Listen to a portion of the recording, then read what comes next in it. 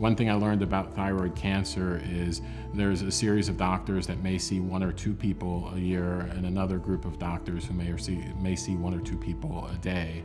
Um, I'm now seeing some folks who, who see uh, dozens of people per week. Good doctors breed good outcomes, so be vigilant in looking for the right people to help you understand your situation and help you plan out your course of action to, to battle this disease.